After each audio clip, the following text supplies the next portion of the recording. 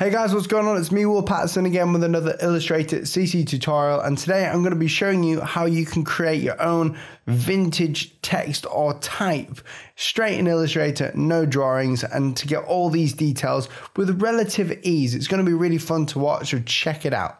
This live stream is sponsored by DotSpace Domains. DotSpace is a domain registration website where you can get your own creative domain. If you click the link in the description below, you can get a discount off the DotSpace domain for very cheap. I use one for my website personally and they look great on a portfolio. So if you would like your very own customized DotSpace, just like mine at willpaterson.space, then click the link in the description below and enjoy the live stream. So the first thing we're going to do is open up a blank document and I'm going to press L to get my ellipse out and I'm just going to create a weird sort of circle. This is easier than the pen tool, obviously.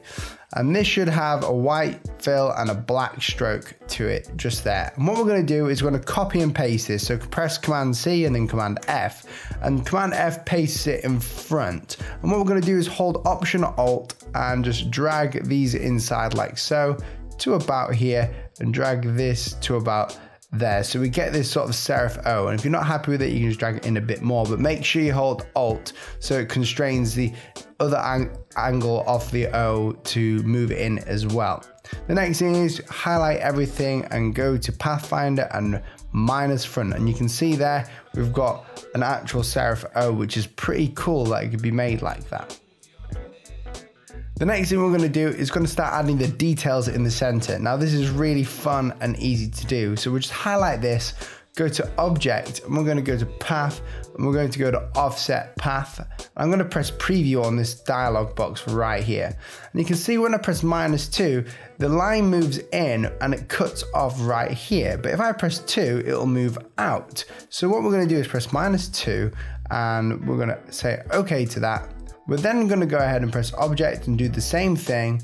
We're going to offset this path again to minus, probably minus three this time. Or even no, minus two will do for there. So we've got another minus two, then we do it one more time, offset path, and then we're gonna go try it for minus three this time. we're gonna see how this looks. I'm gonna press OK. Then I'm gonna press Command C and you can see here we've got a bunch of different sort of O's inside of this. Now we can even just change the colors of these if you wanted to, just to see how we're going with this. So we can just create things a bit lighter every time if we wanted to, which might be a cool experience for you to see. And as you can see there, we've got a bit of lighter tones to this all the way through. The next thing I'm gonna do is I'm gonna get my line tool and just bring this out, draw a straight line, a little horizontal line. I'm gonna hold Alt and press Shift and drag it down, and that's gonna copy it. I'm gonna go to Object, go down to blend and then we're going to go to blend options and in here you want to go to specific steps or specified steps and type 60 and what it's going to do is it's going to make this blend look good. I'm gonna go to blend and make, and it's gonna basically make 60 steps of these lines, which is what we want. Go ahead and press A or go to your direct selection tool and click the top line. And then we're gonna go to our uh, stroke value, which should be, if I can't find it, it should be down here somewhere. Go to your stroke values and just bump it down. And as you can see, it doesn't bump down the whole of the strokes of every one, but it actually gradients the strokes thickness throughout the blend. What I'm going to do next is highlight this, press right or right click even, and arrange and center back. And we're going to create a clipping mask out of this, but first I'm going to create a new artboard and copy it because I might want to use this again afterwards. So I'm going to copy that blend like so.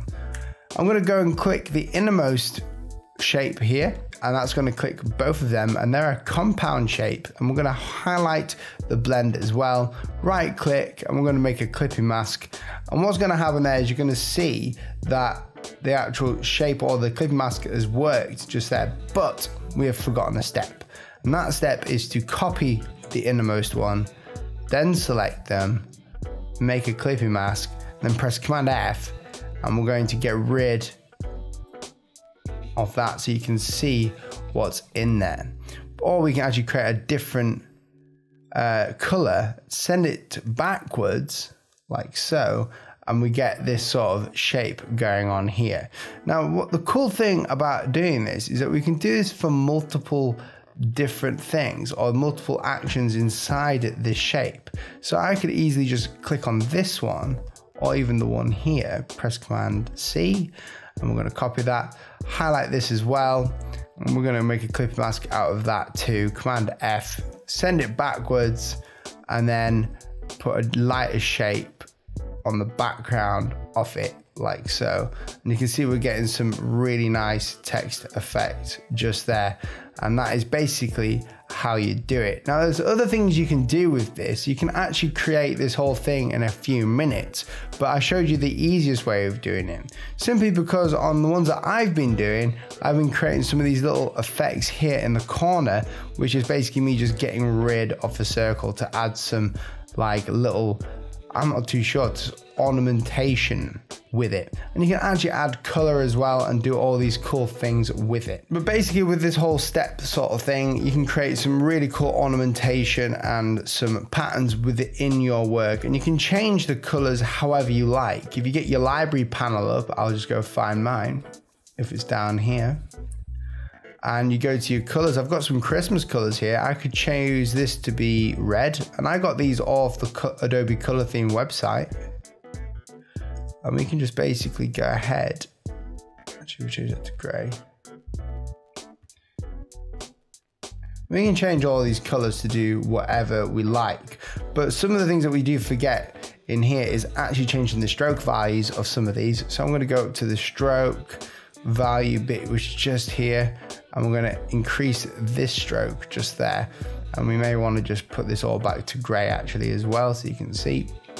I'm going to increase the stroke here so you can see what's happening with it. Like so. Increase this stroke here. If you do that though it might go a bit funny on your illustrator but it's okay but you can create loads of different patterns and awesome little things for your illustrated type. Let me know what you thought of the tutorial and whether you'd like to see any more. If you've got any trouble with tutorials or if you need something to be shown to you, then just leave it in the comment section below. Thank you so much for watching guys and I'll catch you in the next video. See you soon.